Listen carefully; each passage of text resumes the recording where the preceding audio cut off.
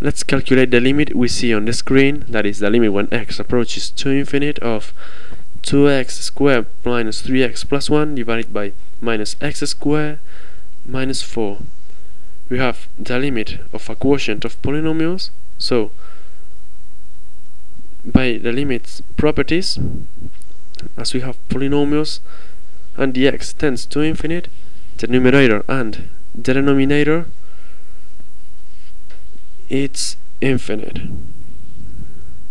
So from here we can see that we have an indetermination. Numerator is equal to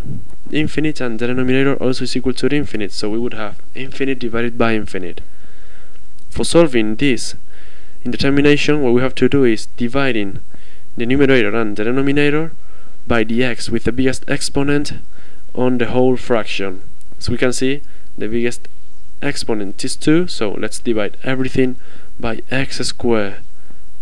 dividing the numerator we will have 2x squared minus 3x plus 1 divided by x squared and the denominator would be minus sx squared minus 4 divided by x squared this limit is equal to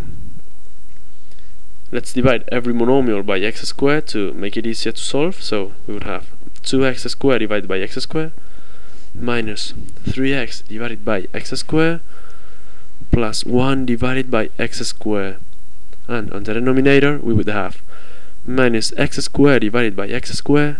minus 4 divided by x squared now let's simplify every fraction we have here. 2x squared divided by x squared there's just a 2 left minus 3x divided by x squared is 3 divided by x plus 1 divided by x squared and on the denominator we would have x minus x squared divided by x squared is minus 1 minus 4 divided by x squared and now every term divided by x is equal to 0 as x approaches to infinite. So the limit would be